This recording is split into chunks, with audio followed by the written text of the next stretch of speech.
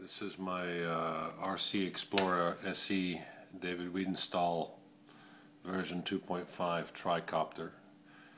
I got a Hobby King uh, version 2 KK board on there that I have uh, flashed with the XX Control Multicopter uh, KR version uh, 2.4 uh, for the tricopter. Um, I'm going to use a Hobby King six channel receiver 2.4 gigahertz with a Turnigy 9X uh, uh, transmitter. I've got uh, on the end I've got the uh, Hextronik DT700s, not the 750s but the 700s. I had a few spares from a B-17 uh, plane that we bought from Hobby King.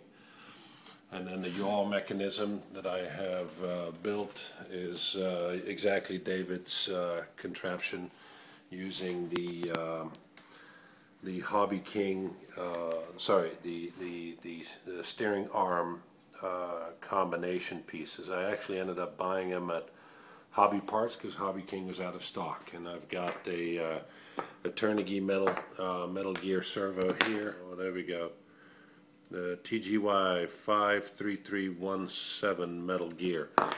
Um, so that's the the whole layout of the copter. Uh, I still have to do landing gear. I have to do uh, the props and uh, cut the, the shafts on the motors down a little bit.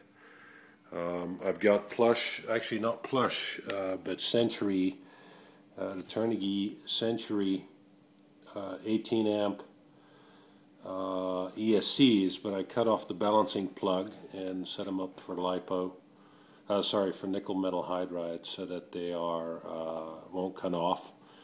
And I still have to get a buzzer mechanism that will warn me of the low battery setting and once I have that I, I think I'm 99% there. Uh, all I have to do now is figure out how uh, how I fly the thing and how I set it up with my Turnigy 9X. So hopefully I'll have more to share soon.